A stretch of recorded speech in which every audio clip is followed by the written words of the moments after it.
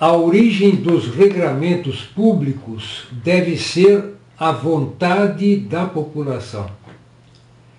Ela elege seus representantes para que eles aprovem regramentos públicos em seu nome.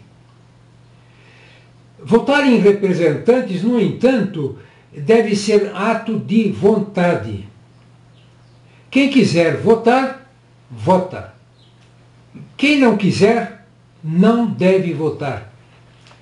Deve ter o direito de ficar em casa no dia da eleição ou ir andar de bicicleta. Claro que não votar não poderá ser desculpa para descumprir regramentos públicos aprovados. O voto no Brasil é obrigatório. Isso distorce os resultados das eleições. Quem vota por um ato de vontade e de consciência é igualado a quem vota porque é obrigado.